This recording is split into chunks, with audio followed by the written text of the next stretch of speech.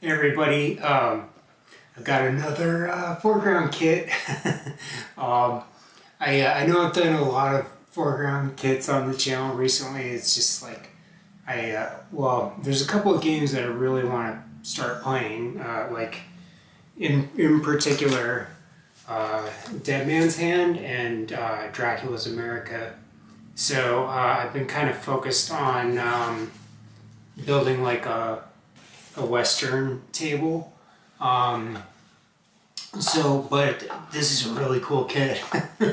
the um, I just I love this um, this Curse of Dead Man's Hand uh, series that 4Ground did, and then they're just kind of like ghost town buildings, like um, you know ruined um, old old looking like ghost town, western ghost town buildings, and then they're they're really really nice. Like I was kind of blown away by the level of detail uh, on on this kit. Like there's all kinds of little details like blasted out little bits, and um, they they give you like tar paper roofs, and uh, it's just a, it's a really nice kit.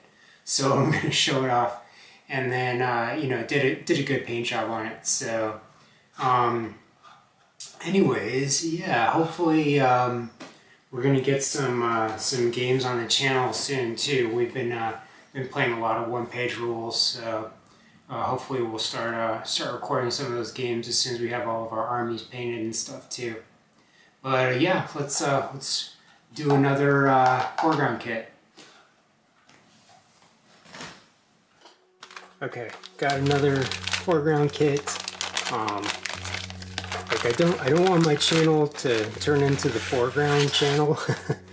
uh, 4Ground though, if you have any kits that you want to send me to review, let me know because I love these. Um, but uh, but yeah, so okay, this is just it's a really cool kit. I think it's just I'm just loving these, like putting these together. I think they're so cool. Um, so yeah, it is going to be the 4Ground channel for a little while.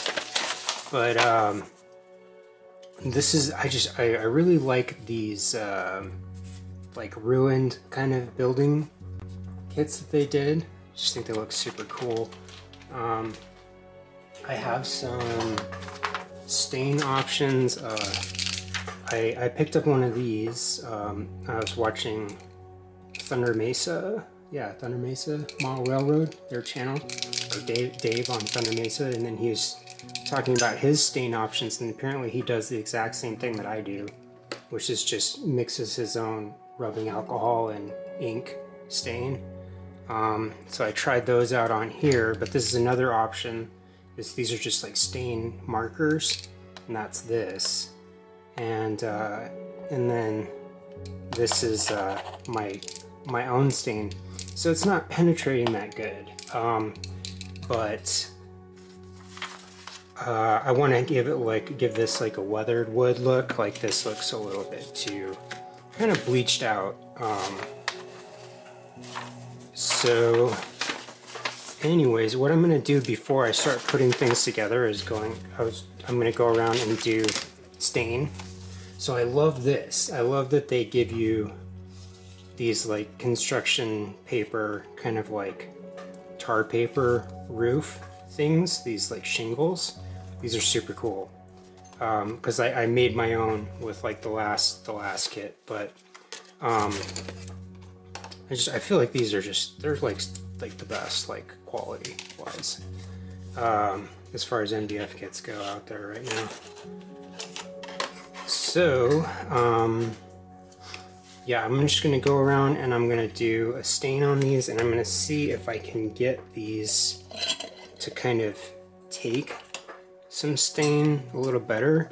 So these look like they are painted because this is this is raw MDF on this side and then this side. It looks like it was painted and then they cut it with the laser which isn't a bad look. It but it has like kind of that bleached out wood look. So just see if I can kind of stain this a little bit. And then keeping these on the, the sprues will help with uh, warping and stuff too. So the rubbing alcohol, it, it also um, is going to prevent warping because um, that doesn't look bad at all. Um, the rubbing alcohol sort of penetrates and then it um, it, it evaporates really quickly. And basically water will make wood warp way more than uh, like alcohol or oil or lacquer any kind of thing that kind of seeps into the pores instead of um, well water seeps into the pores too but I'm rambling. So anyways this is what I'm gonna do. I'm just gonna go around and stain everything before I start even putting anything together.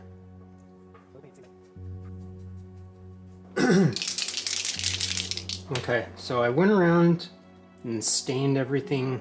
Um, I uh, I tried this on some of the the stuff that's already painted, and it's just not it's not penetrating very well.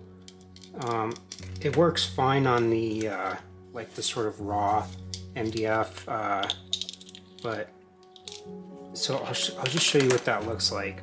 I think that this could be good for like picking out individual boards, you know, to kind of like break out, break up the, um, so that they don't just all look the same and kind of create some, uh, some variation. But it doesn't really penetrate into there so good because it's already painted, right? But it does look, I mean, it looks pretty good. So, um, but the, the, the important thing is that none of this is warping. Uh, so my, my stain is, my stain is working. So, so this is just a lot easier way to just slop on a whole bunch of stain all over. Um, and then this is just, it's just mostly rubbing alcohol and then a little bit, you know, a, a little bit of ink.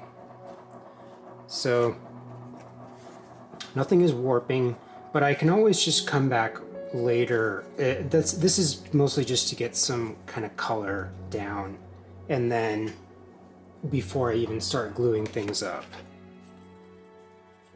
But uh, but yeah, it's not penetrating that well, so I think I'm gonna have to stick to paint. But anyways, okay, so nothing is warping too much, a little tiny bit, but um, not not in a bad way. And uh, another thing that you can do too, like you can see like a big chunky piece like this, it's kind of warping a little tiny bit. Not enough where it'll actually um, throw things off later. But I can I can hit the other side with stain as well. And then that will um, that'll help like it'll dry evenly on both sides and um, that will it is so it won't contract it won't pull in on itself as it's uh, in one direction instead of the other while it's drying.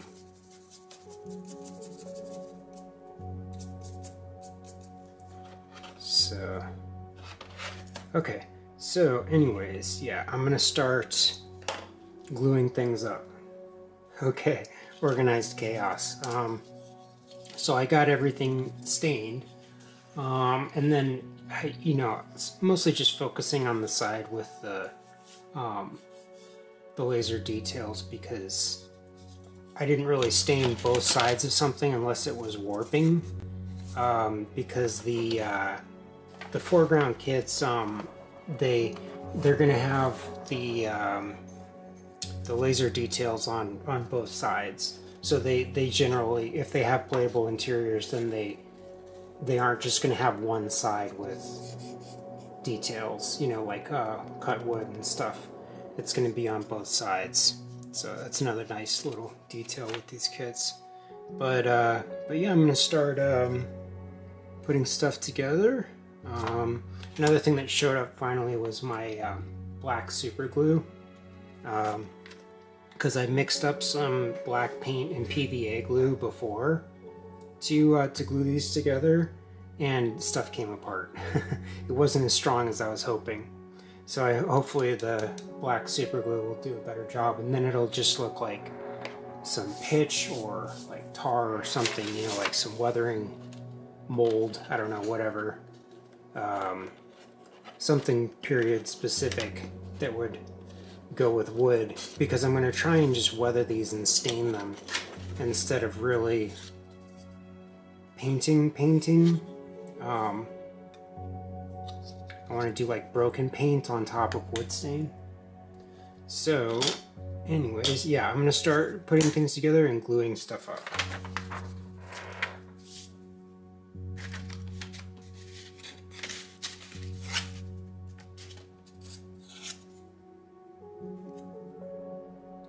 Going to be using my magnet glue up tray too.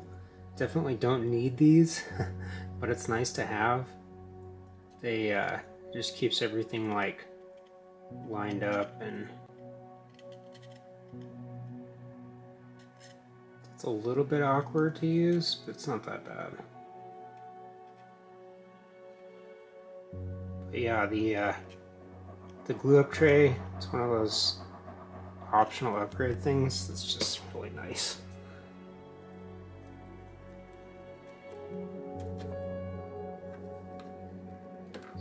Uh, these guys too. Definitely recommend grabbing some of these guys, these little uh, binder clip things. They do a great job of keeping stuff, whether you whether you're doing this with like PVA glue or super glue like I'm doing, uh, just does a great job of keeping everything in place until it's done curing.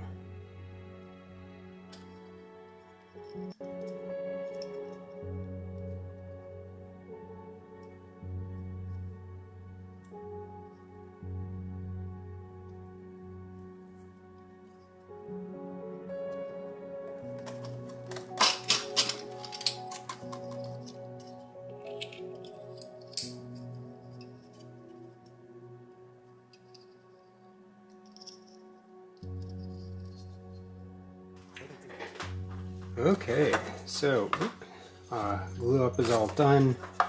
Um, I just wanted to show you guys some of the like level of detail on this kit. Like, so okay, we've got like little doors, you know, that swing open and closed. But um, just these like door frames alone are uh, like multiple parts. Like, where's the, where's the door frames? Um, yeah, here's here's like the the door frame. You see all of the parts and like steps that go into just putting the the little doors in.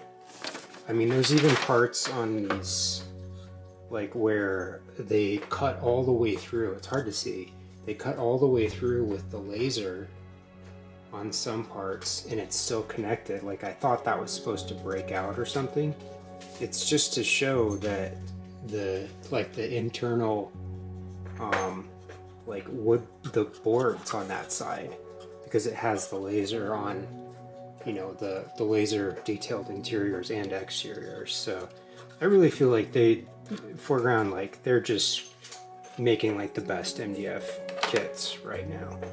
Um, so I, you know, I talked about it before, but they're like, they're just the best to me.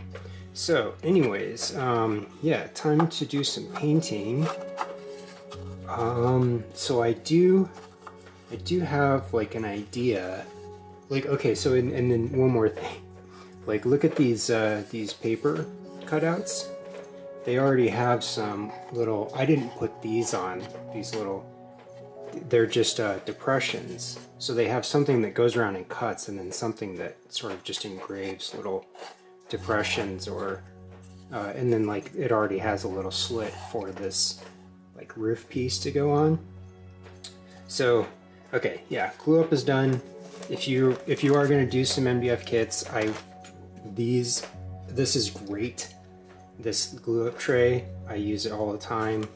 Uh, and then get yourself some binder clips. Like, do it and at least get like some rubber bands or something. And then this stuff is great. This uh, this black super glue, I'm a, I'm a big fan now. So, okay, let's do some painting. Um, all right, so first thing that I wanna do, uh, I'm going to get everything ready to paint. Okay, so first off, um, you can see that the, the stain stuff didn't really penetrate that well into, I mean, this is painted. And it's also MDF, which is not, it's like a wood product. It's like sawdust and then plastic binder, like all kinds of weird chemicals that they put in MDF.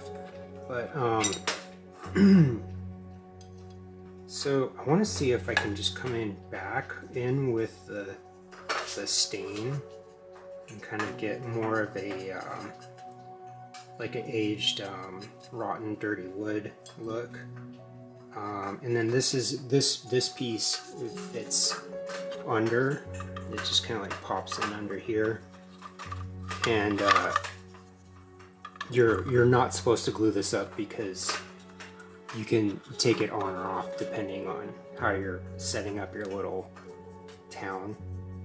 Um, so, okay, so that's not penetrating, right? But what I can do is I can take these pigments um, and then put them on there. Uh, just got some, some black uh, pigments. Um, so I'm just gonna go in and kind of do pigments on there um, after I've put the so the rubbing alcohol is going to kind of be like the binder. That's going to be the thing that like makes the the pigment stick. Um, so it's not gonna it's gonna be a like a kind of subtle effect, but I just want to get like a certain kind of like rotten, you know, old wood look going on. So that that's pretty good. Yeah. Yeah, I like that. Okay, so I'm gonna go around on this. And I did want to use this as like my test piece because it's not really gonna be visible too much. Um, and then this is just a makeup brush, you know, kind of using it how it's intended to for uh, putting down pigments. These are have like super, super soft bristles. Um, but I'm gonna go ahead and do that. Um, I'm gonna do it on the bottom here, on this this part too. Uh, and then some of this stuff is gonna get painted, uh, like especially like under awnings and things like that, where it would be a little bit protected. But okay, so yeah, I'm gonna go around and do that kind of all over on these guys first. Okay, so I uh, hit this again with the stain, and then I put pigments on it, and then I put more uh, rubbing alcohol and or more stain on top of that. so that's gonna kind of seal those pigments down. I'm still gonna need to do like some varnish or something later, but that's kind of the look that I'm going for for the like floorboards down here. So now or the, the, the rotten wood at the bottom. And uh, so what I'm going to do now is I'm going to come in while this is still a little bit wet um, and I'm going to do an overbrush of this uh, uh, barnwood color. And um, so, but I'm going to keep it, um, I'm going to keep it on the, the top part because I want the um, uh, I want I want this to look like the rain and mud and all that and dirt is coming and collecting down here. And then uh,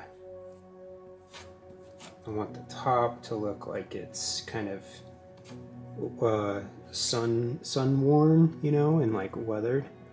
So I'm just gonna kind of come around and like I especially want to get these spots with the laser, like where the um, anything that kind of stands out where there's like high contrast where I don't want it. and I'm just gonna kind of drag it down like this. Try not to get it in my little cracks, um, but just do a little a little overbrush on the the top part. But I want to get like these hard edges where the the laser burns are where I don't want them. Like on these windowsills and stuff.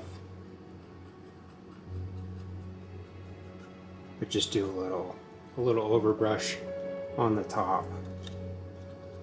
But you can see how this part looks compared to to this. So that's more of the this is more the look that I'm going for.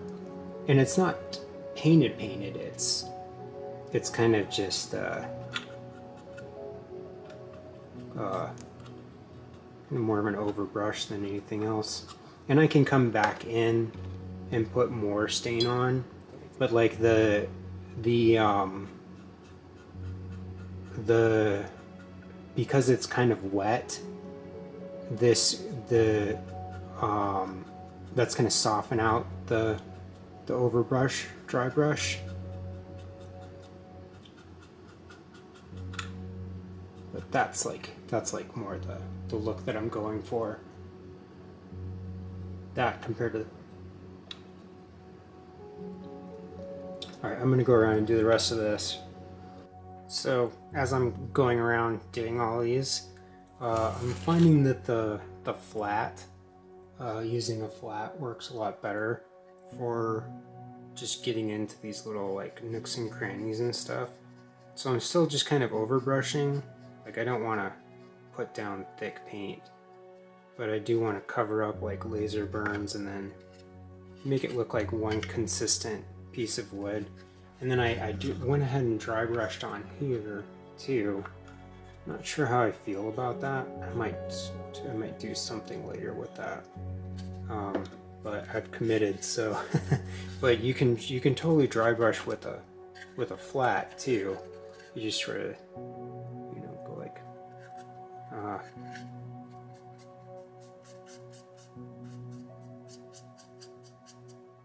like that.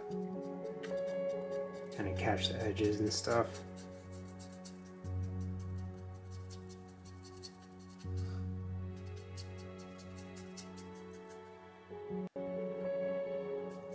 Sure I feel about that. I I'm gonna do something different with that later. But uh, but yeah, I mean, definitely has a cool, like old um, aged wood look that I dig.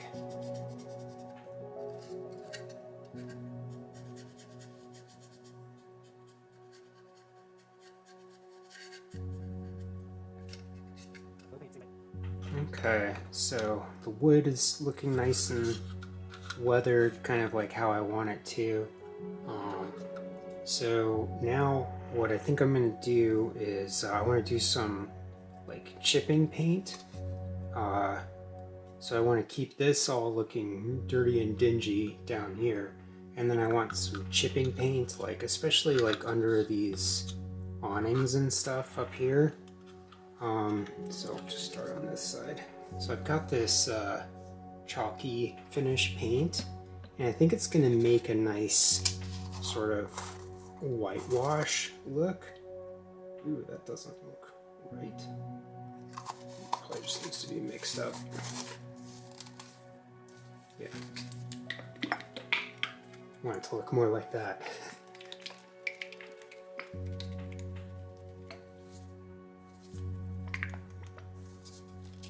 Okay. Alright, that's better. Um, so what I'm going to use is uh, a stipple brush. So this is just a tough like hog, hog's hair brush. Um, and then what I do is I just kind of dab off a little bit and then go like that on the top.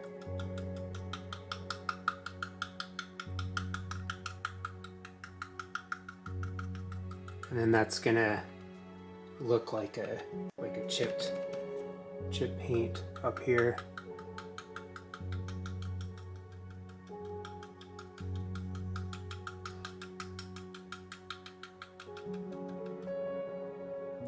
Alternatively, what you could use too is something like a like a packing, a piece of packing foam. Uh, show you what that looks like. Of dab it off until you get that spongy texture, and then like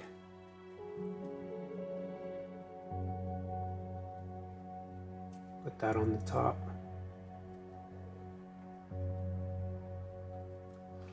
And if you don't like this part, you know, you don't like it, the painting part, uh, personally, like this is my favorite part is the painting. So, you know, if you just want to put together the kit like it is like pre-painted, I just feel like I, I enjoy the painting. So, anyways, yeah. Gonna go around and do lots of chipped paint all over.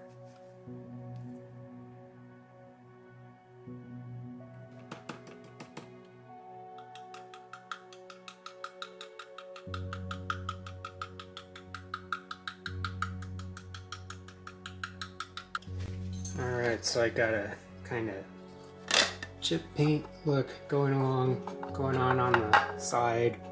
Um, I like how, you know, definitely looks like an old whitewash, like a chipped whitewash. Um, so now I think I'm gonna go ahead and fix this, uh, this roof part. And, um, so I just want to try these uh, pigments on here and see what that does, what that looks like. Um, mm, yeah, that's okay. I think what I might do is just use this uh, stipple brush again with some some black and then just go back in there because I kind of I like the edges the edges look fine um, I just want to kind of sort of make it look like some tar paper um, give the roof um, more of like a, a tar paper look uh, so I'm just gonna I think I'm just gonna come in back in with some black on top of there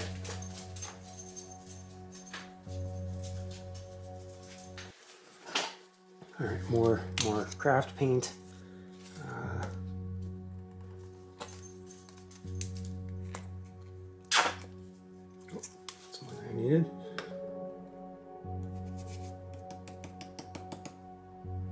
And if I mix a little gray in there, that's totally fine.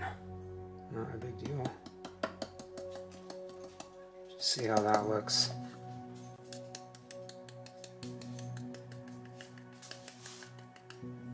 Yeah. It's sort of a dark gray anyways. So the black looks pretty good in there.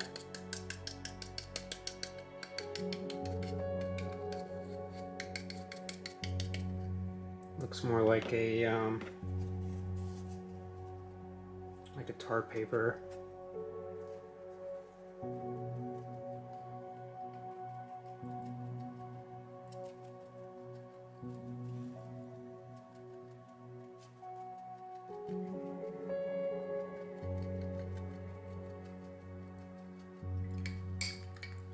All right, yeah. Um, definitely, I definitely like that better. I think that looks much better as like a tar paper kind of roof look. Um, the the sponge seems to work a lot better. So, um, but it definitely has a nice like tar paper look to it. Um, so, anyways, oops, got some. That color on there. Yeah. Uh. All right, I'm just gonna finish up with this and I will post some pictures of what the uh, what the finished model looks like. Uh, yeah, so thanks for watching and I will see you in the next one. Take care of yourselves.